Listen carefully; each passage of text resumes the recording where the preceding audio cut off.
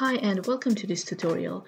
In this video we will learn how to add custom repeating uh, text in your bullet list. Let's say that you have 20 bullets in your bullet list and you want to have some text that's repeating in every single bullet in that list, but you don't want it to you don't want to edit it every time you or to insert it every time you start typing a bullet list item, but you want to be able to control uh, what's written there from one single place. So let's go to the text editor and insert our list here. And let's say that I want the list to be uh, list item 1, list item 2, list item 3, list item 4.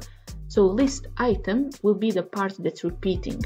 And to an easier way to do this, instead of typing it 5, 20 or 40 times in the list, is to create a list with just a part that's not repeating itself. So let's say my list will be 1, 2, 3, 4, 5, 6, for example. And let's create a bullet out of this. Now, if I go to the advanced panel and if you are using a Elementor Pro version, you will find custom CSS field and we can edit our code directly here. If you're using a free version, I will come back to that a little bit later in this video. So type in uh, selector. So we will type in list item, double colon, and before. What before does is that before the list item content, it will add some custom content that we define here. So let's place content and our content will be list item.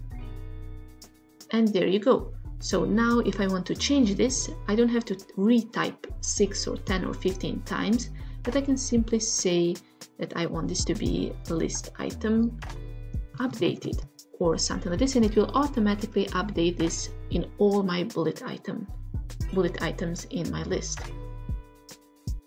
If you are using a free version, you won't have the custom CSS option here. So in order to apply this effect, you first need to go to the advanced panel and advanced, well, let's say tab, and create a class for your bullet list. Let's say bullet list.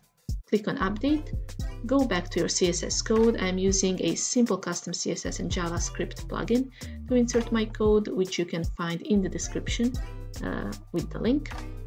And now let's style our uh, class. So bullet list, and we will use the same logic. So I will use list item before and the content for this uh, element will be sorry it will be a list item. Let's close it. Update and let's see what this does. There you go. So for both free and pro version you have an easy option to do this and to control um, this string from a single place. Now let's see what happens if you want to have a piece of repeating text but after the bullet uh, text, uh, not before. Uh, basically we will use uh, the same principle, so go to the custom CSS or in the uh, CSS uh, plugin I showed previously, selector, list item, but instead of before we will use after, so the element. And here now we can use content. And our content would be let's say again list item. Just this time we will have to use space and as you can see it applies the same effect but after the text not before it. Click on update. Let's see how it looks like. After refreshing the page there you go. Thanks for watching, I hope you enjoyed this video. If you have, feel free to give a like, leave a comment below or subscribe.